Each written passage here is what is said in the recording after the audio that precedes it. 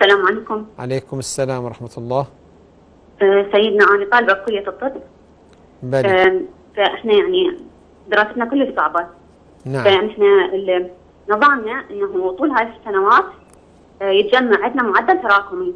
بلي يعني كل سنة المعدل ناخذه طول هاي السنوات يتجمع وعلى أساس هذا المعدل إحنا يعني. نتعين وباقي الفقه ناخذ شهادة الماجستير والدكتوراه. سؤالك شنو؟ السؤال هو إنه مواد إحنا كل صعبة. وأكو مواد آه، يعني أو مواضيع ما نستفاد منها مطلقا بالتخرج. فيعني نقدر إنه بس الأشياء اللي تفيدنا يعني ناخذها تعبنا والاشياء اللي ما نستفاد منها يعني شلون يعني نقول نستعين بالمصادر أو بالملازم؟ يعني تريدين نقول كلمة أخرى شوية يعني واضحة. أن نقدر نغش؟ يعني نوعا ما هيك.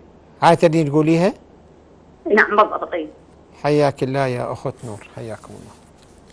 نور تقول إحنا طلاب كلية طب وكذا ودراستنا صعبة ومعدلاتنا لازم قوية وإلا ما نقدر كذا.